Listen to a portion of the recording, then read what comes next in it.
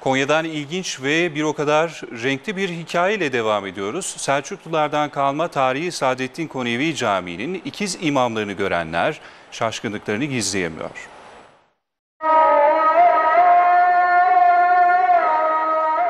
İlk 10 rekatı ben kıldırıyorum. Sonra 10 rekatta birader kıldırıyor. Cemaat içinde bir değişiklik oluyor. Bazen cemaat karıştırıyor ama e, yapacak bir şey yok. Konya'daki 7 asırlık Sadrettin Konevi Camii'nin ikiz imamları benzerlikleriyle şaşırtıyor. Bir yaşlı hacı amcamız geldi. Bizim biladere diyorum ki ya hocam sana bir yardımcı yok mu?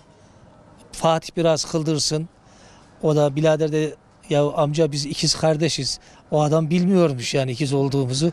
İkimizi bir arada görünce şaşırdı. İkizlerden Bekir Sivrikaya Sadrettin Konevi Camii'nde 5 yıl önce göreve başlamış. İmamın tek yumurta ikizi olan kardeşi Kurra Hafızı Mustafa Sivrikaya ise geçen sene ve bu yıl Ramazan ayında teravih namazlarını kıldırmak için aynı camide görevlendirilmiş. Ramazan boyunca hatimde teravih namazını dönüşümlü kıldıran ikiz imamları cemaat kolay kolay ayırt edemiyor. Bu durum ilginç anıları da beraberinde getiriyor. Elhamdülillahi Rabbil alemin Errahmanirrahim. Genç bir arkadaşımız geldi dedi ki hocam dedi ilk 10 rekatta dedi sesim çok ince çıkıyor dedi.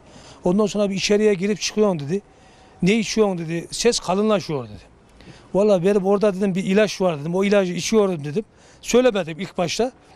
Ondan sonra namaz bittikten sonra ikimizi yan yana görünce bir şöyle bakıyor bir şöyle bakıyor. Şaşırdı.